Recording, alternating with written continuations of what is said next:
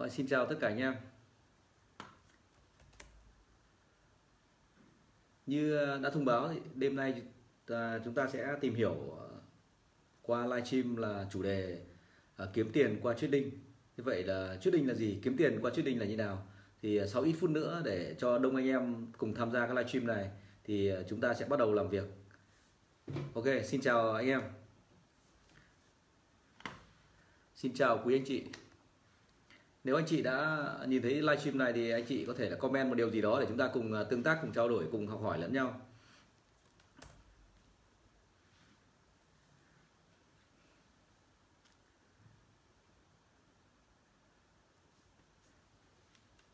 Trong ít phút nữa thì chúng ta cùng làm việc. Ok, xin chào tất cả anh em.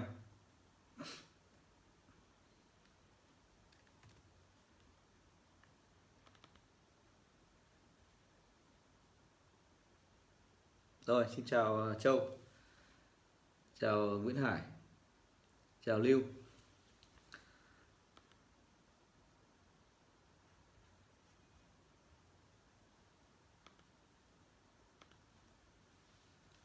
Ok, xin chào mọi người.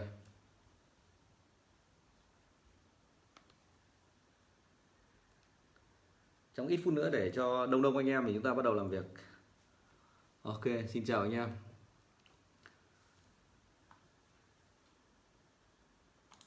Ờ, làm ơn hãy share cái video này cho tôi giúp tôi để ờ, nhiều người được ờ, học cái kiến thức này hơn. Hãy share share nó lên tường cá nhân của các bạn để nhiều người được tiếp cận đến với cái, cái kiến thức rất là bá đạo này. ờ, share giúp tôi, share giúp tôi. Ờ, xin chào, xin chào, xin chào. Đêm đã về khuya, chúng ta lại ngồi làm việc cùng nhau. Ok, à, trong Sài Gòn thì tối ngày 29 tháng 3 thì tôi có một cái buổi chia sẻ về cái chủ đề này. Nếu anh chị em nào quan tâm thì à, mời anh chị em à, qua cùng à, tham khảo, cùng trải nghiệm. Ok, chào Tiến Hải, chào Hải Năng Lượng, chào Tiến, à, chào Hải Năng Lượng. ok, nhờ anh em share giúp tôi cái clip này để cho nhiều người được được nghe hơn. Hãy share giúp tôi để cho nhiều người được nghe hơn à, chúng ta sẽ làm việc với nhau khoảng 30 phút thôi ngắn ngủi là trong vòng 30 phút thôi. Ok xin chào xin chào xin chào. Trong vòng 30 phút tới ok trong vòng khoảng 5 phút tới để cho đông anh em chúng ta bắt đầu làm việc và chúng ta sẽ làm việc nói chuyện với nhau trong khoảng 30 phút.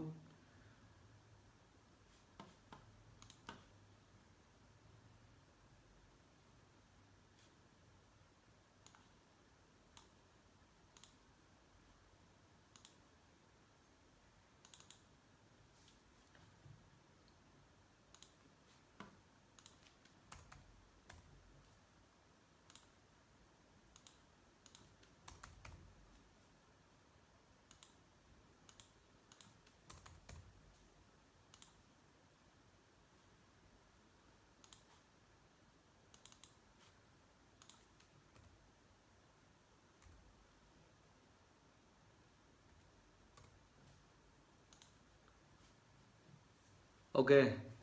Ở chờ ít phút nữa để à, cho đông anh em mình chúng ta bắt đầu làm việc. Đấy, công việc trading là một công việc ờ, đòi hỏi ờ, rất là nhiều tố chất. Để có thể thành công là đòi hỏi rất là nhiều tố chất. À, lát nữa chúng ta sẽ cùng cùng cùng cùng khám phá công việc này. À, tại sao lại có rất là nhiều người kiếm được rất nhiều tiền? Và tại sao cũng có rất là nhiều người tham gia vào thị trường này không kiếm được tiền? Và tại sao nhiều người thấy kiếm được tiền và mọi người vẫn đứng ngoài không quan sát cũng không tìm hiểu không không không không lắng nghe xem nó là cái gì. Thì lát nữa chúng ta cùng à, cùng tìm hiểu. À, làm ơn à, share giúp, giúp tôi cái video này lên tường để cho nhiều người được à, cùng được nghe hơn.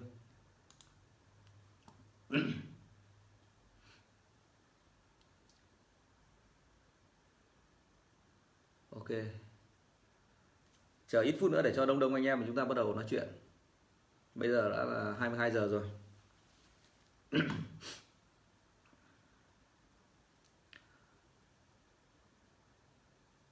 hãy chia sẻ giúp tôi hãy chia sẻ giúp tôi để nhiều người được nói chuyện cùng à, chúng ta hơn. Vâng hãy chia sẻ giúp tôi để nhiều người được tiếp cận cái à, cái cái, cái công nghệ kiếm tiền bán đạo này hơn. Vâng chào trang sinh.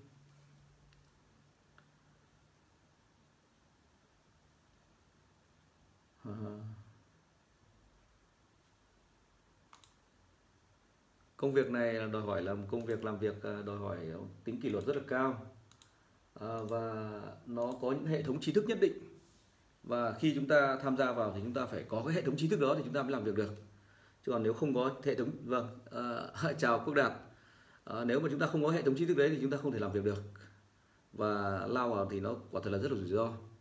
Vâng chào tuyên. Hãy share giúp tôi hãy share giúp tôi hãy share giúp tôi cái clip này để cho nhiều người được uh, nghe hơn. Uh, để ờ, buổi tối nói chuyện buổi tối ngày hôm nay có nhiều ý nghĩa hơn. Hãy share giúp tôi. Hãy chia sẻ giúp tôi.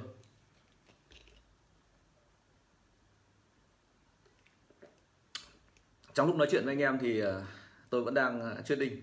Rất tuyệt vời.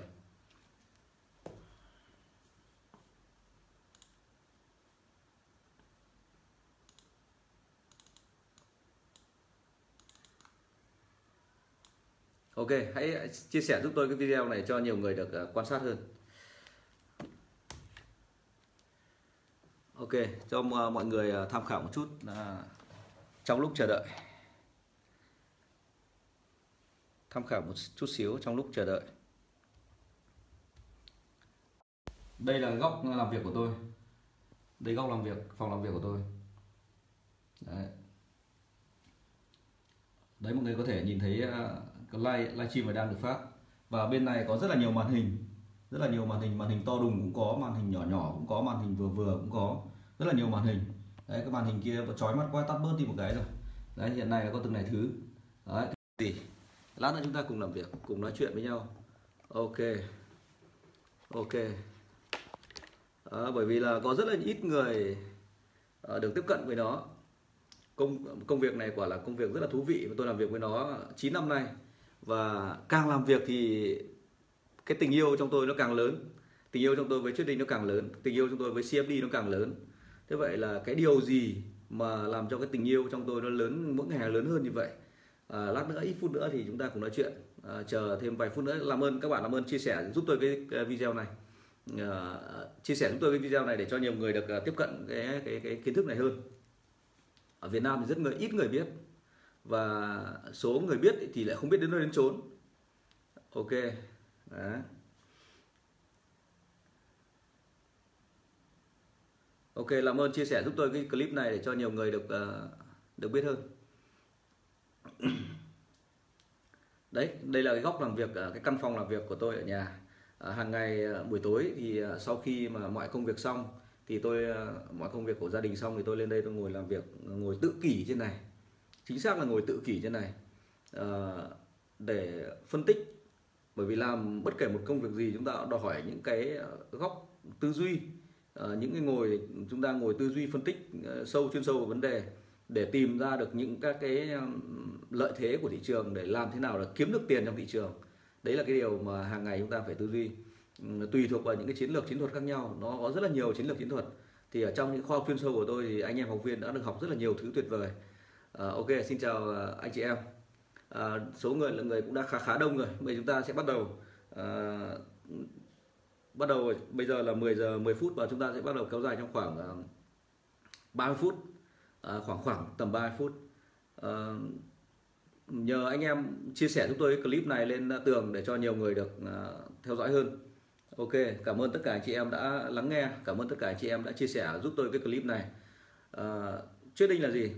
Trading là một cái công việc uh, tham gia vào thị trường giao dịch tham gia vào thị trường. Um, nó có chỉ có hai công việc thôi cả cuộc đời nó chỉ có hai công việc thôi. Đó là một công việc là mua và một công việc là bán. À, thế vậy là cả hai công việc đấy nhằm mục đích gì? Cả hai công việc đấy chỉ có nhằm mỗi một mục đích là để mua hoặc bán để hưởng chênh lệch. Các bạn nhớ điều này là mua hoặc bán để hưởng chênh lệch. Coi là mua để hưởng chênh lệch thì có là như thế này. Bản chất nó là một công việc gọi là như nào nhỉ? Gọi là đầu cơ gọi là đầu cơ. À, nếu như tôi phân tích à, một cái mã cổ phiếu à, một cái mã cổ phiếu mã chỉ số à, A này mà nó tăng giá à, nó tăng giá thì tôi sẽ tham gia vào thị trường vào trạng thái là trạng thái mua. Trạng thái mua mua ở vị trí giả sử là điểm mua nó ở đây điểm mua ở đây. Và tôi kỳ vọng nó điểm mua nó ở dưới gốc này. Và nó tôi tôi sẽ tính toán là kỳ vọng nó tăng trưởng lên trên này và khi tôi điểm mua ở dưới này giá nó tăng trưởng lên trên này thì tôi sẽ được lãi được lãi một đoạn là à, delta này delta giá này. Lấy giá trên trừ giá dưới nhân với khối lượng à, giao dịch thì ta sẽ được ra khối lượng lãi. Ừ. Đấy, tương tự như vậy ở trong thị trường CFD này thì nó lại trong trong cái công cụ CFD này có một cái à, rất là hay. Đó ngoài cái việc khi chúng ta tham gia vào hướng mua khi phân tích là giá thị trường đi lên thì để ta hưởng lợi nhuận ừ, chênh lệch giữa điểm vào mua và điểm cao này để chúng ta được hưởng chênh lệch giá thì nó còn có một cái trạng thái thứ hai đó là trạng thái bán. Ở trạng thái bán này rất là hay như này.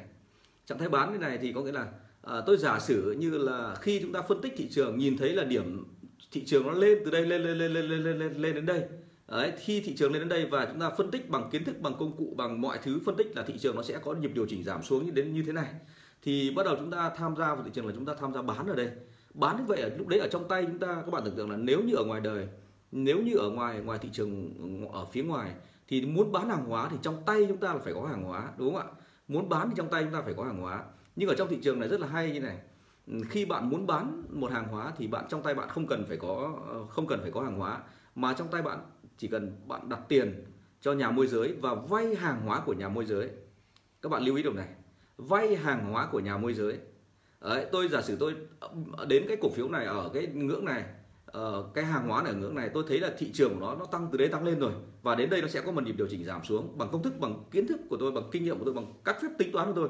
Là tôi nhìn thấy là nó sẽ điều chỉnh giảm xuống. Thì lúc này tôi sẽ mượn hàng hóa mượn hàng hóa của nhà môi giới hoặc của một ai đó trên thị trường. Và tôi sẽ tham gia tôi bán từ đây bán xuống. Giả sử như giá trên này là 100 đô một một đơn vị hàng hóa tôi giả sử 100 đô một đơn vị hàng hóa, khi đó tôi bán, tôi mượn hàng để mang tôi ra, tôi tôi mang ra thị trường tôi bán.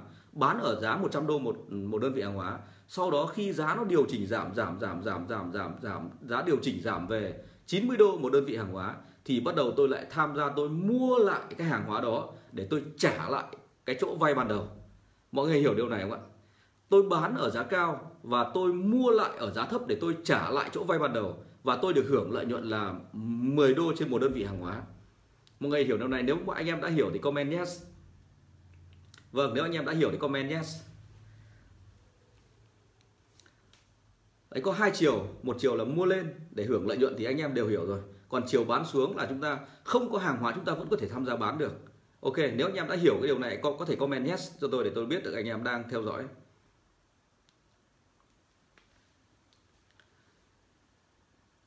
Ok, nếu anh em có đã hiểu điều tôi vừa nói thì có thể comment yes, comment yes.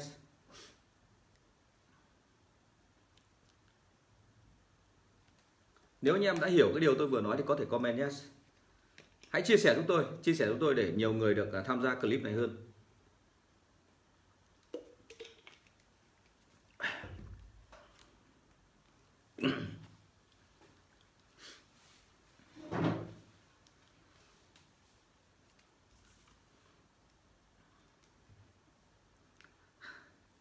Ok. Ở đấy có là ở trong thị trường nếu thị trường trạng thái mua lên thì chúng ta tôi nói lại, tôi nói lại một chút để chúng ta hiểu nhớ lại. Ở trạng thái mua lên thì chúng khi chúng ta bằng công công công thức, bằng kỹ thuật, bằng công cụ phân tích thị trường nhìn thấy thị trường có xu hướng tăng giá thì chúng ta tham gia vào thị à ok em mới vào chưa hiểu ok không sao cả tôi sẽ nói lại ờ, ok ờ, anh anh chị em có thể là làm ơn chia sẻ cái clip này trên tường cá nhân của mình để cho nhiều người anh em bạn bè của mình có thể được nghe được cái kiến thức này rất là bổ ích kiến thức này các bạn có thể dùng nó không cần giao dịch online mà có thể nó mang ra ngoài thực tiễn thị trường các bạn có thể kiếm được tiền ở ngoài. Các bạn hãy nhớ điều này. Hãy chia sẻ chia sẻ chia sẻ để nhiều anh em có thể được được nắm được kiến thức này. Kiến thức rất là hay. Có thể áp dụng được trong kinh doanh có thể áp dụng được ở ngoài thị trường đầu tư ở ngoài. Vâng luôn nào hãy chia sẻ chúng tôi. Ok.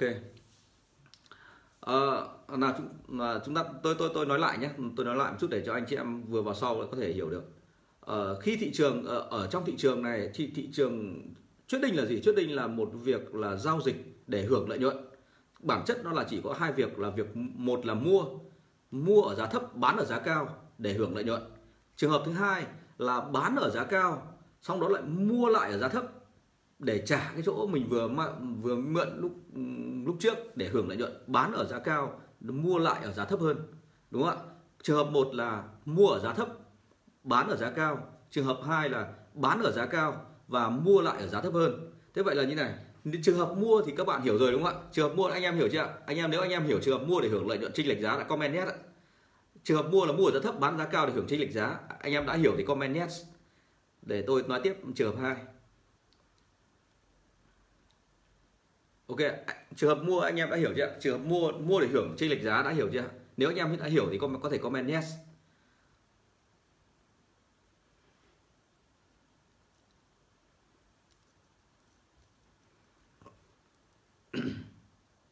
Ok, nếu anh em đã hiểu trường hợp mua để hưởng lợi nhuận chênh lệch giá thì có thể comment yes.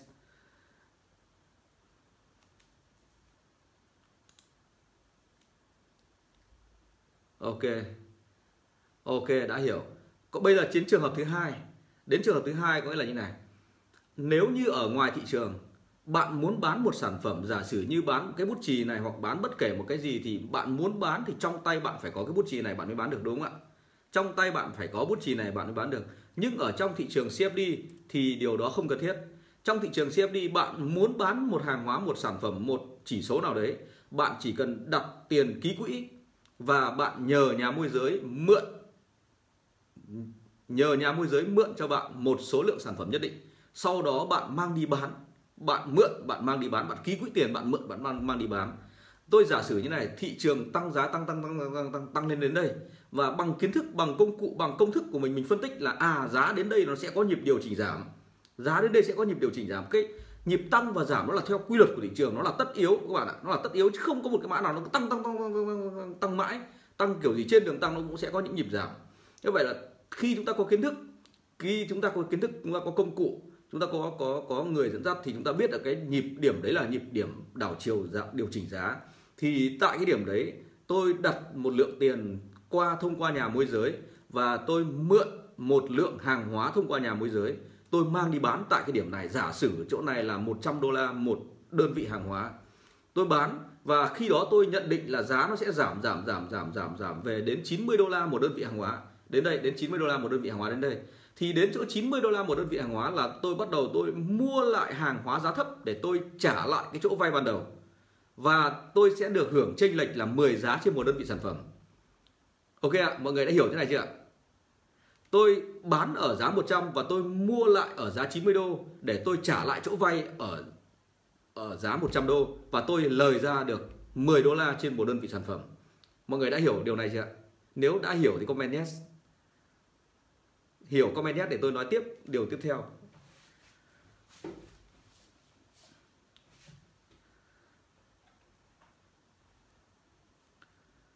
ok. Ok, nếu anh em đã hiểu cái điều tôi vừa nói thì comment yes comment yes để tôi nói điều tiếp theo.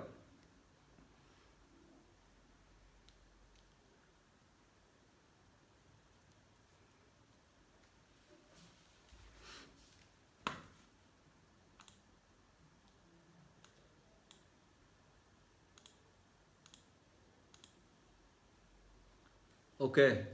Ok, đấy, anh em đã hiểu thế vậy là chúng ta sẽ có hai trạng thái. Cả cuộc đời trading nó chỉ có hai việc. Đó là việc mua ở giá thấp bán ở giá cao. Và trường hợp thứ hai là mượn ở giá cao mang đi bán. Sau đó rồi lại mua lại ở giá thấp để trả lại ở giá cao. Ok chưa tôi lấy ví dụ như thế này. À, giả sử như đây là một cái sản phẩm đây là một cái sản phẩm của anh bạn tôi của một anh bạn tôi. Anh ấy không có nhu cầu sản sử dụng. Anh ấy để lưu kho anh ấy để ở trong trong trong trong hệ thống quản lý của anh ấy và tôi biết giá của cái sản phẩm này, nó sẽ giảm từ 100 đô la trên một cái bút này về 90 đô la một cái bút này.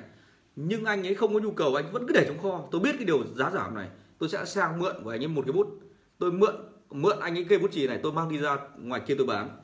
Bán xong bán xong, khi giá nó giảm về đến 90 đô la một một cái bút này, thì tôi lại mua chính xác cái cây bút đúng ký hiệu hàng hóa, đúng nhãn hiệu, đúng nhãn mác, đúng tiêu chuẩn chất lượng như trang như thế này tôi về tôi trả lại cho anh bạn tôi và tôi được lời ra là 10 đô la trên một sản phẩm như thế này. Ok chưa đấy, thế vậy là cái việc đấy, cái việc đấy nếu như ở ngoài đời thực tiễn thì mình phải ký quỹ tiền một lượng có thể là tùy tùy tùy tùy mối quan hệ. Có thể là nếu như bạn quan hệ thân quen các bạn có thể mượn không được. Nếu như bạn uy tín của bạn không cao, bạn mượn, bạn phải đặt lượng tiền bằng 100% nhưng ở trong thị trường CFD thì điều nó rất là tuyệt vời như này. Bạn không phải đặt một lượng tiền bằng 100% giá trị, mà bạn chỉ phải đặt một lượng tiền khoảng 20% giá trị mà thôi. 20% bạn lưu ý điều này. Bạn chỉ cần đặt một lượng tiền bằng 20% giá trị. Ví dụ như cái bút này tại thời điểm mà mang tôi mang đi bán, cái sản phẩm này tại thời điểm tôi mang đi bán là 100 đô la trên một sản phẩm, thì tôi chỉ phải đặt một lượng tiền ký quỹ bằng 20% giá trị, cỡ khoảng là 20 đô la. Và tôi được quyền tôi mang cái sản phẩm này, tôi mang đi tôi bán. Như vậy tôi được quyền mang sản phẩm này đi tôi bán. Bán ở giá 100 và đến giá rơi về giá 90 thì tôi mua lại cái sản phẩm này tôi mang đi tôi trả lại cái anh bạn lúc nãy tôi vừa mượn. Đấy thì tôi được lời ra là 10 đô trên một sản phẩm. Cái điều tuyệt vời nó ở chỗ đấy. Và cái cái cái tình huống bán này người ở trong kỹ thuật ở trong trong trong trong từ chuyên ngành nó gọi là bán khống. Bán khống các bạn. Bán khống. Ở à, thế vậy là ở trong thị trường CFD cái hay nhất đó là cái cái có hai hai điều. Đó là khi thị trường tăng giá thì Ờ, chúng ta mua và khi thị trường giảm giá là chúng ta mượn sản phẩm chúng ta mang đi bán và tiền thì chúng ta không phải ký quỹ bằng 100% giá trị mà chúng ta chỉ phải ký quỹ bằng một lượng bằng 20% giá trị mà thôi. Ok, à, thuật ngữ CFD là gì? Bạn lên Google search tìm hiểu giúp tôi nhé. Ok. ok, đấy. Thế vậy cái, câu chuyện mua và bán ở trong trong trading là gì các bạn đã hiểu chưa ạ? Ok, câu chuyện mua và bán trong trading các bạn đã hiểu chưa? Nếu các bạn đã hiểu rồi các bạn có thể comment yes để tôi nói câu chuyện tiếp theo. Ok, bất động sản áp dụng tốt.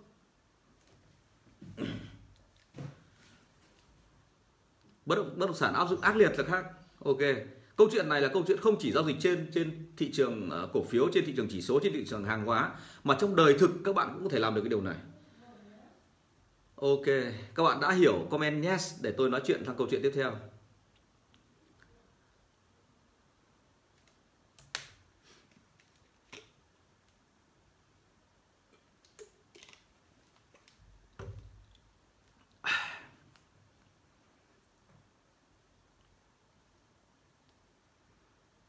Ok rồi. À, câu chuyện thứ hai. Câu chuyện thứ hai. Ok. À, vì rất là có rất là nhiều anh chị em inbox của tôi. Vì không phải là kết bạn với tôi cho nên là inbox nó phi vào hòm thư rác và lâu lâu tôi mới kiểm tra cái hòm thư rác đấy một lần. Và tôi thấy là uh, có rất là nhiều câu hỏi nó giống giống nhau. Nhưng chính vì thế cho nên hôm nay tôi làm cái live stream này để ờ, chia sẻ để một là chia sẻ hai là trả lời những cái thắc mắc trả lời những câu hỏi nó na ná giống nhau như vậy. Câu hỏi thứ nhất là giữa mua và bán mọi người đã hiểu. Câu hỏi thứ hai ờ, thế vậy là cần bao nhiêu vốn để có tham gia có thể tham gia được được được trading thì uh, câu trả lời như này. Cái vốn để tham gia ờ, uh, trading thì nó rất cần cần rất là ít không cần nhiều. Dành cho người mới bắt đầu cho người mới học thì không cần nhiều. Ờ, ở một số nơi người ta quảng cáo là có thể một đô, 2 đô, 3 đô, 5 đô, 10 đô, 20 đô là bạn có thể tham gia trading được rồi. Đúng, điều đó hoàn toàn đúng. Nhưng với cái trải nghiệm của tôi với cái những cái gì tôi đã trải trải nghiệm qua thì các bạn không nên bắt đầu những con số quá bé như vậy. Ít nhất bạn cũng phải cần có khoảng từ 600 đến 800 đô la. Một con số khoảng uh, mười mấy 20 triệu thì bạn mới có thể tham gia được với cái thị trường này. Và cái cái điều điều đầu tiên là cái số vốn là nó rất là nhỏ để khởi nghiệp trên thị trường này nó số vốn không cần lớn. Nó chỉ cần 6 đến 800 đô la là bạn có thể làm việc được rồi. Khoảng từ ờ, 600 là khoảng 13 14 triệu đến 800 là khoảng ờ, 17 18 triệu. Là tóm lại là khoảng từ 14 đến 15 đến 20 triệu ờ, là bạn có thể tham gia trên trên thị trường này được rồi. Và cái cái cái cái lưu ý, tôi lưu ý với anh em này, không nên tham gia với số vốn quá ít. Số vốn quá ít là gì? Nếu như bạn mà lên Facebook, nếu bạn mà lên Google thấy đâu đó quảng cáo là Ờ, chỉ cần tham gia 5 đô, 1 đô, 2 đô, 10 đô là bạn đã có thể tham gia được rồi. Thì lời lời lời cảnh báo của tôi tôi không khuyên tôi cảnh báo thôi là bạn cần phải xem xét lại. Số vốn tối thiểu là khoảng từ 600 đến 800 nhỏ hơn rất nguy hiểm nó ảnh hưởng đến an ninh vốn. Đấy cái cô cái cái lưu ý thứ hai là ờ nó đúng rồi nó phụ thuộc vào lệnh sản phẩm. Và cái cái lưu ý thứ hai là ở trong thị trường tài chính quốc tế hay là trên thị trường CFD nó có một cái nó gọi là đòn bẩy tài chính. Đòn bẩy tài chính. Thì tôi xin chia sẻ với các bạn như này đòn bẩy tài chính ở trên nó rất là linh hoạt. Trên thị trường tài, đầu tư tài chính quốc tế thì đòn bẩy tài chính nó vô cùng linh hoạt. Bạn có thể giao dịch với đòn bẩy 11 bạn có thể giao dịch đòn với đòn bẩy 12 bạn cũng có thể giao dịch với đòn bẩy 13 bạn cũng có thể giao dịch với đòn bẩy 14 15 vân vân hoặc là đến giao dịch với đòn bẩy 1100 một hai trăm một năm trăm một một nghìn một hai nghìn. Đấy với đòn bẩy nó vô cùng đa dạng và phong phú. Nhưng bạn hãy lưu ý điều này đòn bẩy tài chính là gì? Tôi xin chia sẻ như này. À, đòn bẩy tài chính là như này là khi bạn có một số vốn ít bạn vẫn có thể giao dịch với số vốn lớn với số lượng tài sản có giá trị lớn hơn n lần so với số vốn ban đầu. Thì cái n đấy chính là là tỷ lệ đòn bẩy.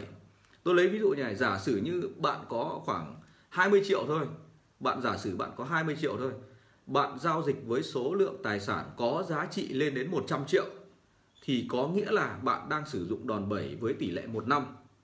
Đấy vốn là một bạn giao dịch gấp 5 lần thì tỷ lệ đòn bẩy là 5 nếu như giả sử như bạn có ờ, uh, 20 triệu bạn giao dịch với tổng giá trị hàng hóa sản phẩm có tổng giá trị lên đến 200 triệu thì lúc đấy bạn giao dịch với đòn bẩy là 10 và nếu giả sử bạn có 20 triệu, bạn giao dịch tổng giá trị cái hợp đồng mà bạn giao dịch, giả sử bạn giao dịch lên đến tận những 2 tỷ thì lúc đấy bạn sử dụng đòn bẩy là 1 100.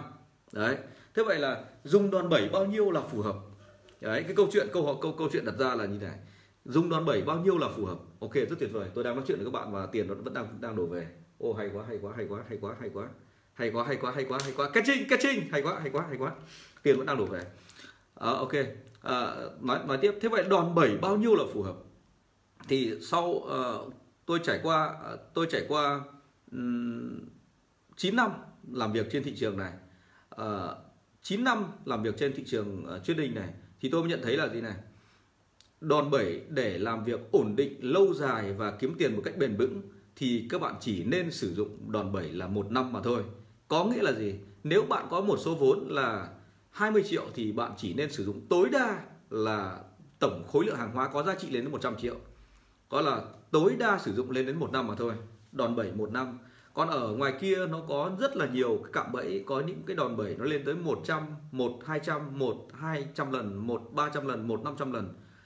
Nó cho dù nó là bao nhiêu đi chăng nữa thì hãy nhớ điều này, chỉ nên sử dụng tỷ lệ đòn bẩy là một gấp 5 lần mà thôi, tối đa là một năm mà thôi thì bạn mới kiếm được lợi nhuận và mới sống lâu sống dài được ở trên thị trường à, và mới kiếm được tiền một cách bền vững. Đấy. À, đấy là cái tỷ lệ đòn bẩy. À, thế vậy là cách sử dụng đòn bẩy là như thế nào? Khi mà cái đòn bẩy là một năm thì cái lượng tiền ký quỹ cho mỗi một lần bạn giao dịch một cái sản phẩm này là bao nhiêu? Tôi giả sử tại thời điểm cái sản phẩm này có giá là 100 đô tôi tham muốn tham gia vào thị trường tôi muốn tham gia vào trạng thái bán, có nghĩa là tôi phải đặt cọc một lượng tiền hay là ký quỹ một lượng tiền để tôi mượn một lượng sản phẩm. Tôi giả sử tôi mượn một sản phẩm để tôi mang ra tôi bán. Thế vậy nếu như đòn bẩy là một năm, thì cái số tiền phải đặt ký quỹ được tính bằng công thức là lấy giá của sản phẩm chia cho năm. Giá của sản phẩm chia cho năm. Các bạn lưu ý nhé, lấy giá là tại cái thời điểm lấy giá của nó bằng bao nhiêu, giá của nó là bằng 100 đô trên một sản phẩm. Bạn lấy giá 100 đô đấy trên một sản phẩm, bạn chia cho năm, thì sẽ ra cái số lượng tiền bạn phải đặt ký quỹ. Có nghĩa là 100 đô chia năm thì bạn phải đặt ký quỹ là 20 đô. Ok chưa bạn phải đặt ký quỹ là 20 đô la. Đấy, vậy khi bạn đặt ký quỹ là 20 đô la thì nhà môi giới người ta sẽ cho bạn mượn một sản phẩm, mượn một sản phẩm này mang đi bán.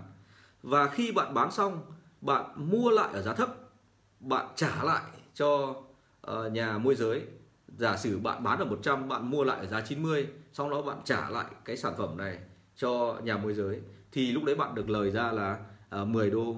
Thế vậy là cái rất hay ở trong thị trường này có một cái là gì? Số vốn nhỏ bạn hoàn toàn vẫn có thể kiếm được lợi nhuận.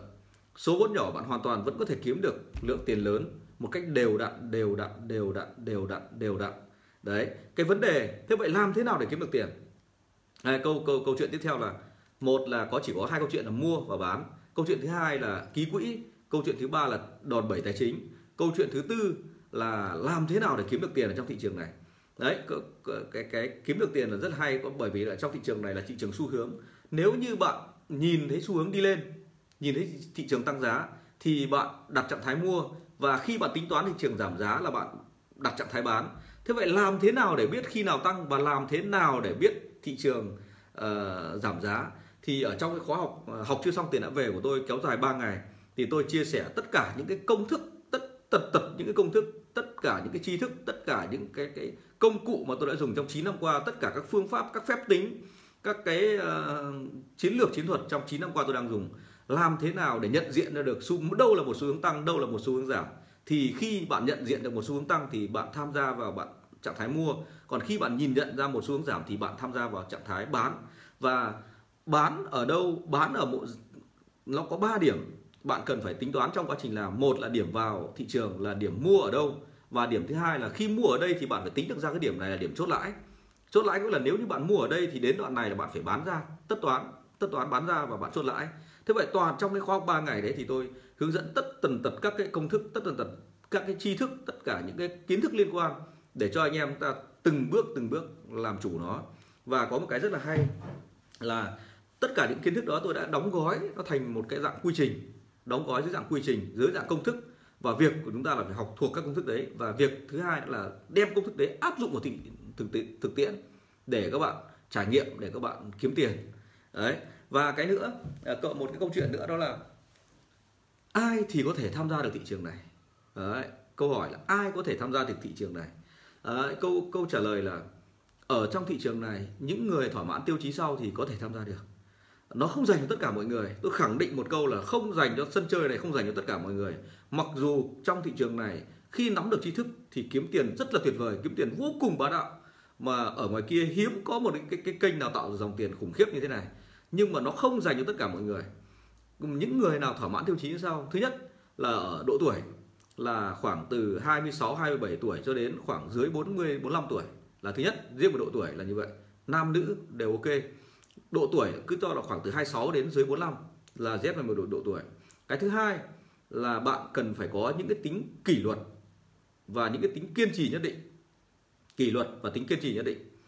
À, cái đặc ờ, điểm thứ ba là uh, cái, cái cái cái tố chất là bạn phải cần có những cái cái, cái, cái tính kiên trì. Bởi vì là trong thị trường này như này ở trong thị trường này thì khi tham gia thì không phải là tham gia một cái là kiếm tiền được ngay mà bạn phải cần phải có một những cái tri thức rất là là, là đúng đắn học tri thức xong các bạn về bạn mang những cái công thức đấy những cái tri thức đấy các bạn áp dụng vào thực tiễn một cách rất là nguyên tắc áp dụng rất là nguyên tắc.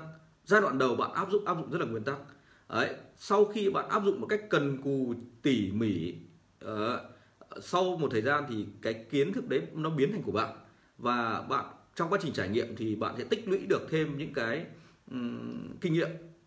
Và một cái tố chất nữa nếu có thì rất là tuyệt vời đó là nếu như bạn là những người tư duy logic thì rất là tuyệt vời rất là phù hợp.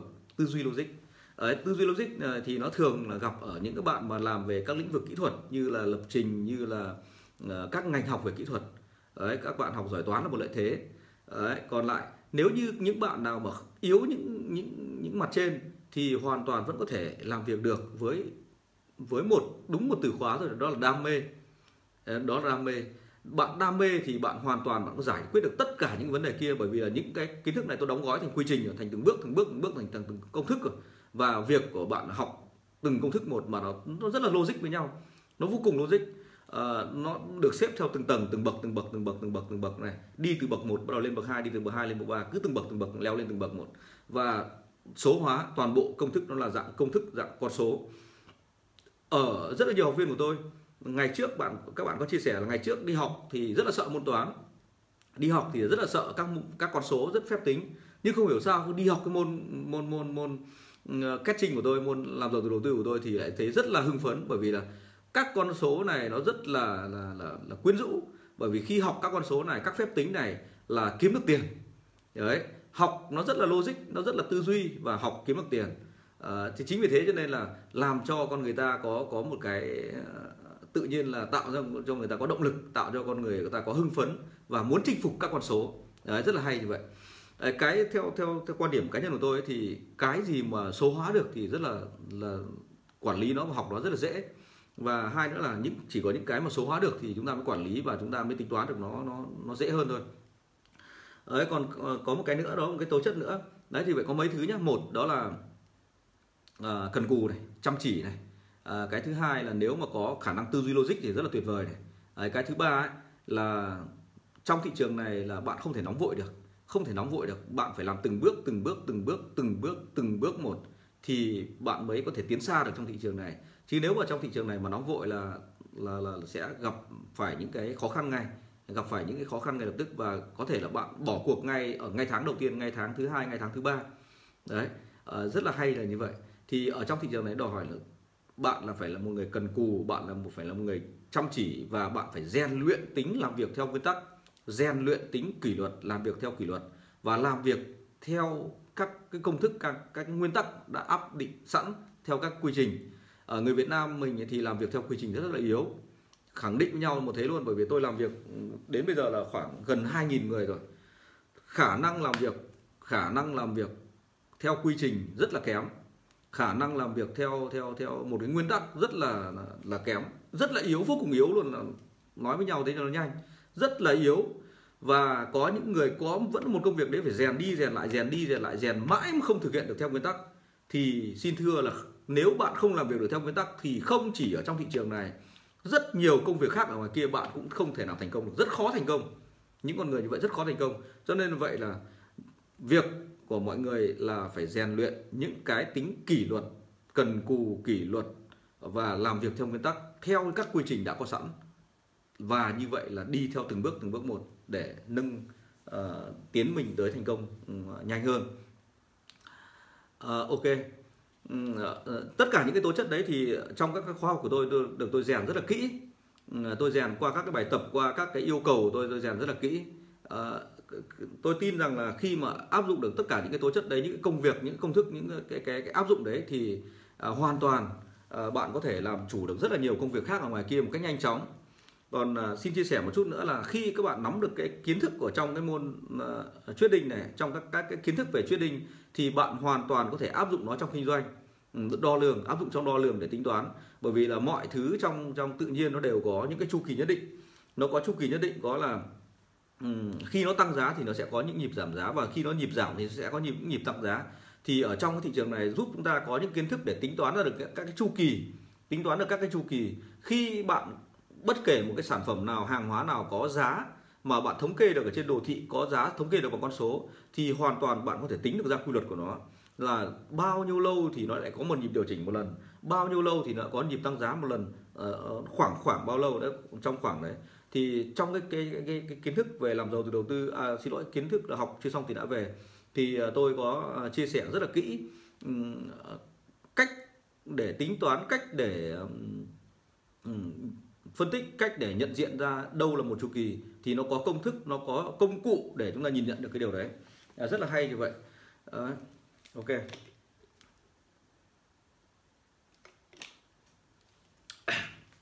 Ok đấy là tôi chia sẻ sơ bộ qua là trước đinh là gì?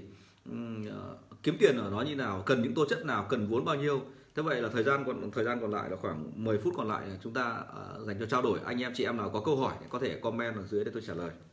Là tôi tôi tôi giải đáp. Anh chị em nào có câu hỏi thì có thể comment. Ok rất là hay thị trường đi rất là tuyệt vời. Anh chị em có thể comment câu hỏi à, có bạn đầu tiên ở từ Ô, sao tôi không nhìn thấy comment nhỉ?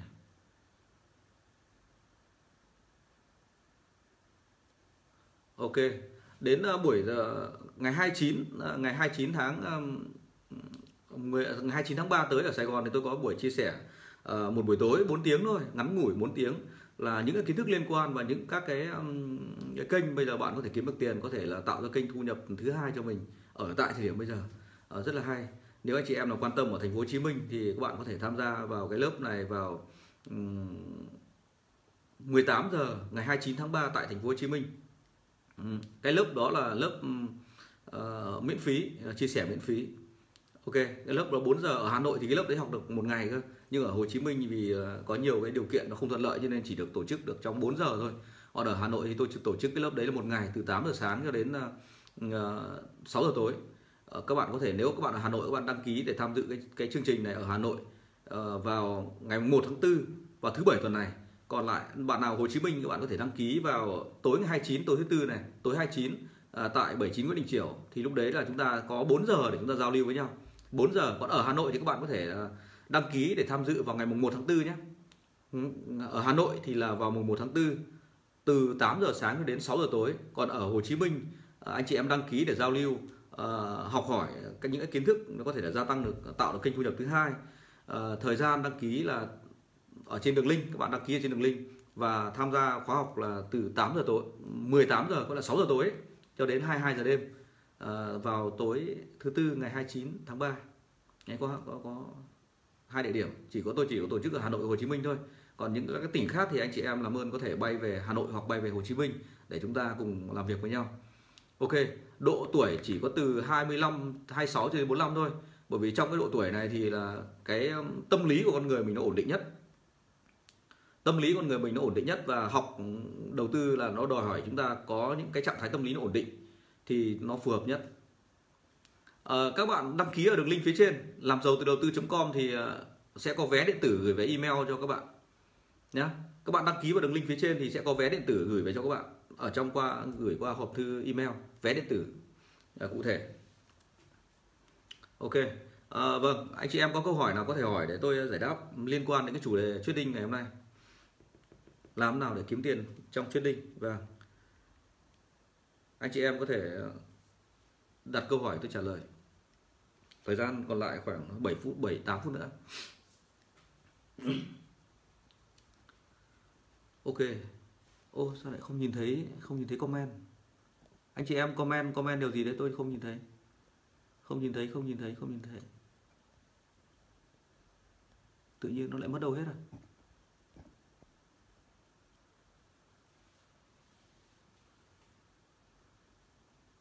Ok nếu bạn là người đã ra trường đã, đã trưởng thành đã học ra ra trường độ tuổi từ 25 đến 45 thì bạn có thể đăng ký đăng ký tham gia. Ok, tham gia hai khóa này là khóa miễn phí. Hai khóa miễn phí, chia sẻ miễn phí. Sản phẩm thật. Đây là giao dịch trên các sản phẩm thật. Sản phẩm thật 100% vâng. Ok, chào Gia Trung. Các bạn đăng ký vào cái đường link phía trên làm giàu từ đầu tư.com thì các bạn sẽ nhận được cái vé gửi, vé điện tử gửi qua email. Ok. Ở Hồ Chí Minh là ngày tối ngày 29 tháng 3 còn ở Hà Nội là cả ngày mùng 1 tháng 4 đấy, có có có hai địa điểm thôi. Để chúng ta tìm hiểu một cái kênh gọi là kiếm tiền hết sức là tuyệt vời hiện nay. Ok, có ai có câu hỏi gì nữa không? Lại tôi à, giải đáp ạ.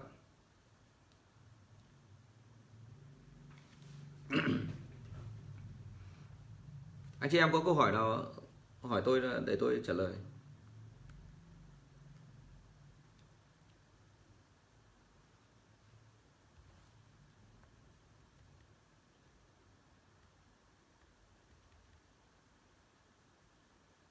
Ở chương trình này là dành cho chương trình cho những người không biết gì. À, tất cả những cái um, kiến thức là dành cho người mới bắt đầu. À, và đi chúng ta học từ từ không biết gì đến lúc biết. À, cho nên là tất cả mọi người trong cái độ tuổi trong cái khoảng đó đều tham gia được. Ok.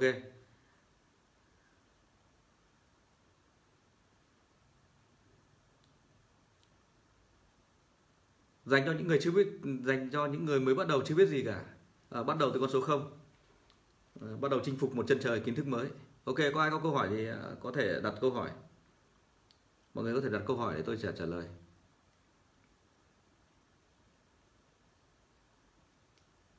À, sau khi khóa học ừ, khóa học 3 ngày xong thì các bạn sẽ được tôi hỗ trợ trong suốt cuộc đời. Ở trong có một cái group bí mật. Có một group bí mật các bạn sẽ được add vào đấy. Ở trong group đấy có khoảng gần 2.000 người và hàng ngày được tôi hỗ trợ hàng ngày. Nhá, anh chị em yên tâm điều như vậy. À, có một group bí mật khoảng gần 2.000 người hàng ngày hàng ngày đều tất cả là học viên của tôi hàng ngày hàng giờ đều được tôi ờ, support trên đó. Ờ, tôi và đội nhóm của tôi support trên đó.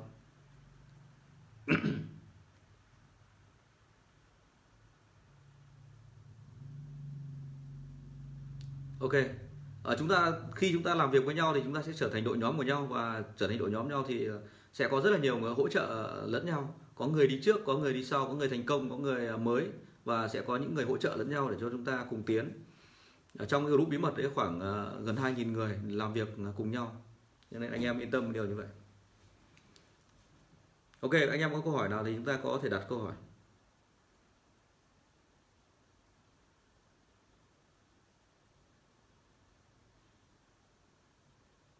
Câu hỏi của bạn Trung là có nên đi vay tiền để đầu tư không ạ? Câu trả lời là không. Đã gọi là đầu tư thì ờ, ban đầu thì chúng ta cần phải có vốn. Đến một lúc nhất định thì chúng ta mới dùng đòn bẩy. Còn lại ban đầu là chúng ta cần phải có vốn để chúng ta uh, tham gia đầu tư. Còn ban đầu chưa có vốn mà chúng ta đi vay. Tại sao đi vay lại không làm được? Bởi vì như này khi đi vay cái tâm lý của người đi vay nó khác với tâm lý của người có vốn. Và khi tâm lý không bình thường làm việc nó sẽ không được tốt hiệu quả nó sẽ thấp. Và cái tỷ lệ thành công nó thấp cho nên là phải cần phải có vốn thì chúng ta mới làm việc được còn khi không có vốn thì tất nhất là chúng ta hãy set up một công việc nào đó để khi đó khi đến lúc có vốn ổn định rồi thì chúng ta tham gia đầu tư. Dù ít dù nhiều chúng ta phải có vốn.